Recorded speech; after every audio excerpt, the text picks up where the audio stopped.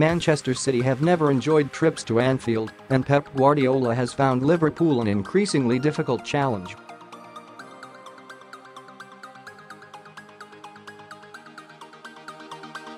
Jurgen Klopp's side booted the Blues out of the Champions League last season and this year threatened to take their Premier League crown as they look set for a mammoth points tally.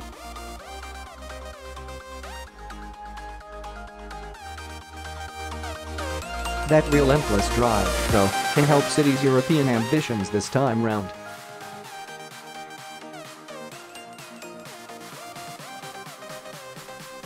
It was 12 months ago that Guardiola's side were thrashed 3-0 in the first leg of their Champions League quarter-final.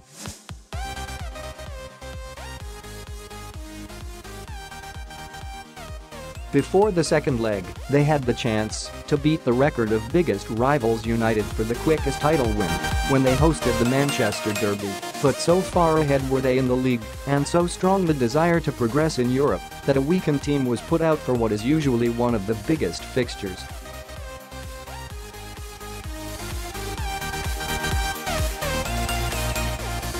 And Zai without Kyle Walker, Aymeric Laporte, Kevin De Bruyne, and Sergio Aguero could have, should have won the game, but with no real pressure on them, they fell apart in the second half.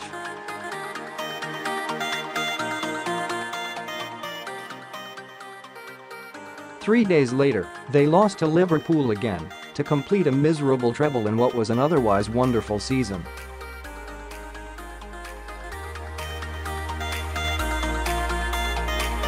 This time, precisely because of Liverpool, there can be no prioritizing particularly after Tottenham's victory in the first leg.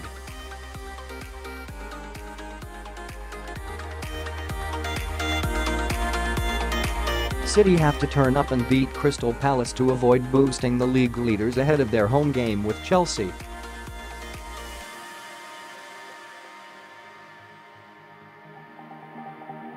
With Spurs and United up immediately after the Champions League second leg, failure to get three points at Selhurst Park would pile the pressure on a game that the reigning champions are already playing catch-up in for at least the next three fixtures.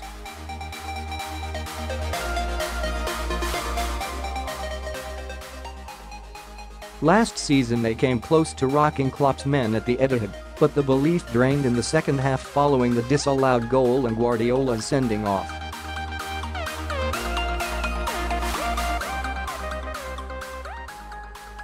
This year after consecutive defeats to Leicester and Crystal Palace there were more signs of vulnerability when they then travelled to Southampton perhaps, if they had come up against stronger opposition it may have been three winless games.